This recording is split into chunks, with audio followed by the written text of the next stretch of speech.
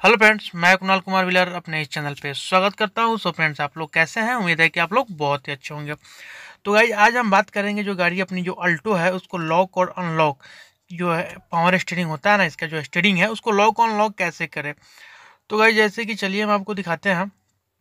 ये जो गाड़ी है गाड़ी में जो की लगा हुआ है चाबी लगा हुआ है, तब तक ये गाड़ी जो भी फ्री है, एकदम पूरा फ्री है, इसका स्टेयरिंग और जैसे इसको हमने निकाला तो निकालने के बाद उसको मतलब कि ऐसे भी लॉक हुआ नहीं है, थोड़ा उसको अभी घुमाएँगे तब जाके लॉक होगा, यहाँ पे देख सकते हैं, अब जाकर ये गाड़ी लॉक हो चुका है, उसका स्टेयरिंग तो गाड़ी यहाँ पे स्टेयरिंग लॉक होने के बाद अब इसको इसको खोलना होगा तो कैसे खोलना होगा?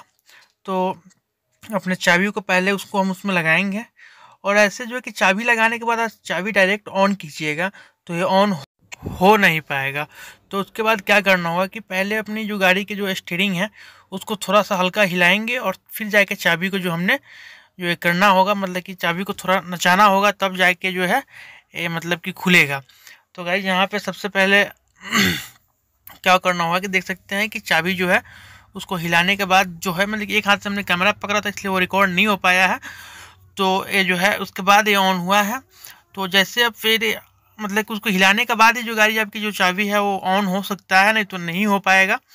तो गाड़ी यहाँ पे जो है ऐसे ही करके एकदम बहुत ही बढ़िया सिंपल लॉजिक है इसका। मतलब कि स्टेयरिंग जो है लॉक और अनलॉक करने का, कोई ज़्यादा झंझट तो इसमें है नहीं। तो चलिए, आप समझ गए होंगे, चैनल पर नया चैनल को सब्सक्राइब कीजिए, वीडियो लाइक कीजिए कमेंट शेयर ज़रूर कर दीजिए।